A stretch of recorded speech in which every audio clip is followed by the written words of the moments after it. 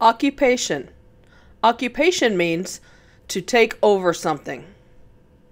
During the war, the Nazi army was occupying the territories. People were afraid there were new rules and laws to be followed.